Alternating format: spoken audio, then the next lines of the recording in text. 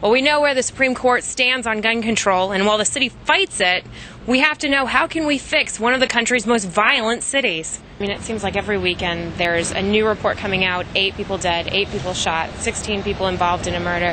What do you think about DC violence? I think that a lot of it isn't reported, and there's more than we know about. And It's all over the city, and it even has hit the state of Maryland and some in Virginia. So it's, it's particularly throughout the city of the District of Columbia.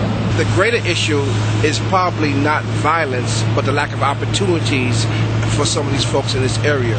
Uh, you have folks who have been disenfranchised. You have folks who have been on public assistance through generations. There's just so many other factors that lead to a crime being committed or lead to a person feeling that that's their only um, mode of action um, is, is, is committing a crime. Well, maybe it's the recession. It's probably the money. A lot of the parents are trying to provide, and they may not be at home to really like give their kids the attention that they need, and some of them are probably falling through the cracks. Well, and obviously the issue varies from city to city. What do you think the best solution is for DC? DC residents definitely need to claim our neighborhoods and definitely be about um, this community. police just make things worse. And They put in checkpoints.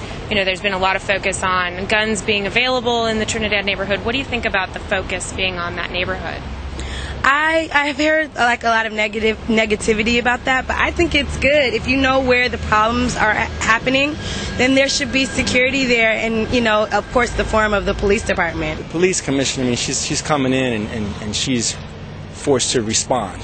I mean, there's some more proactive things that the city as a whole can be doing. I don't want to put the solution all on the police. I mean, they're one player. People get guns and they get into the wrong hands.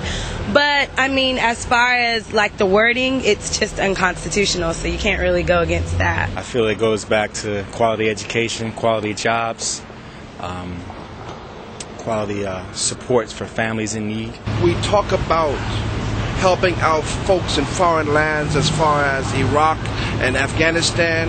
And the bottom line is some of our people here in this country need the same kind of money, support, time, energy given to them and their needs as folks across the world.